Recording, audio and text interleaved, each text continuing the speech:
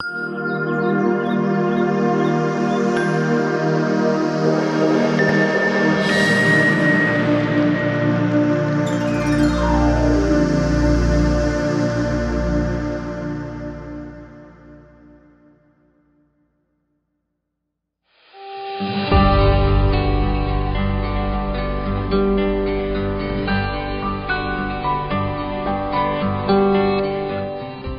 วัสดีครับ ผมวรพงษ์นรงวัฒนา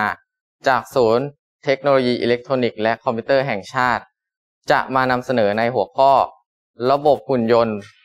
ออกกำลังกายแขน v ีฟรีครับ ปัจจุบันนะครับ ประเทศไทยและนานาประเทศทั่วโลก ได้เข้าสู่สังคมผู้สูงอายุเป็นที่เรียบร้อยแล้วนะครับ ซึ่งการพิการในผู้สูงอายุส่วนใหญ่แล้ว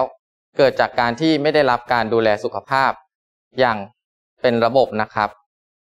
ส่งผลให้การดำเนินชีวิตประจำวันของผู้สูงอายุ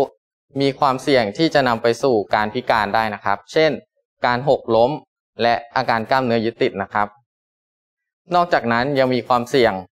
ที่จะเกิดโรคต่างๆ ได้ เช่น โรคหลอดเลือดสมอง และโรคอัลไซเมอร์ครับ ประกอบกับปัจจุบันนะครับ เทคโนโลยีหุ่นยนต์ ได้มีพัฒนาการขึ้นอย่างมากนะครับ ทางผู้วิจัยจึงเห็นว่าเราสามารถที่จะนำ ระบบหุ่นยนต์ดังกล่าวมาวิจัยและพัฒนา เพื่อสร้างเป็นระบบออกกำลังกาย เพื่อสนับสนุนให้ผู้สูงอายุสามารถออกกำลังกาย ได้อย่างมีประสิทธิภาพมากยิ่งขึ้นนะครับ โดยเราคาดหวังว่า ผู้สูงอายุที่ใช้ระบบออกกำลังกายดังกล่าว จะสามารถลดความเสี่ยงที่จะเกิดความพิการและโรคต่างๆ ตามที่กล่าวมาข้างต้นได้ครับ สวัสดีครับ ผมวิศรุตทรัพย์ศรีจากศูนย์เทคโนโลยีอิเล็กทรอนิกส์และคอมพิวเตอร์แห่งชาติ สำหรับผลงานชิ้นนี้นะครับ ก็คือ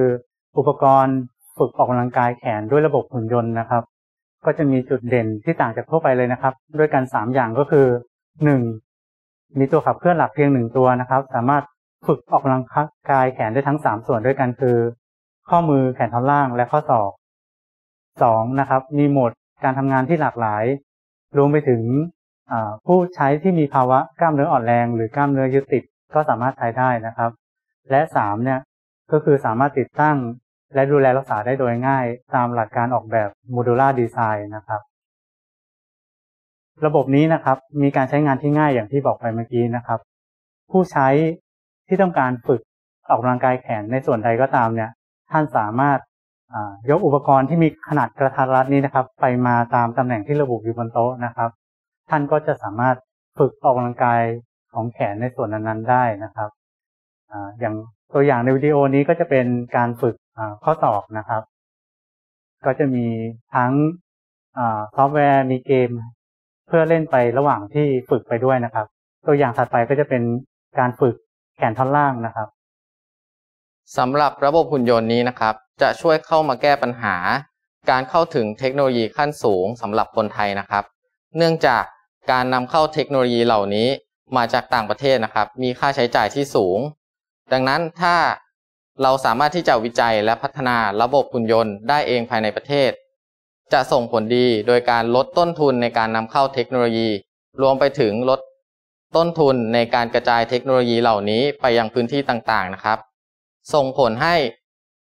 ผู้สูงอายุในประเทศไทยนะครับ สามารถที่จะเข้าถึงเทคโนโลยีขั้นสูง เพื่อการดูแลสุขภาพเหล่านี้ ได้ดีมากยิ่งขึ้นครับ โดยปัจจุบันนะครับ ระบบหุ่นยนต์ v ีได้มีการถ่ายทอดเทคโนโลยีแล้วนะครับ ได้มีการติดตั้งใช้งานจริง ในศูนย์ผู้สูงอายุต่างๆ ทั้งในกรุงเทพและต่างจังหวัดครับ โดยระบบหุ่นยนต์ของเรานะครับ เหมาะกับผู้ที่ต้องการอุปกรณ์เสริมในการฝึกการเคลื่อนไหวของมือนะครับ รวมไปถึงชุมชนต่างๆ ที่มีผู้สูงอายุอาศัยอยู่รวมกัน ในพื้นที่ห่างไกลก็สามารถใช้ระบบดังกล่าวได้ รวมไปถึงผู้ที่มีปัญหาด้านการเคลื่อนไหวของมือ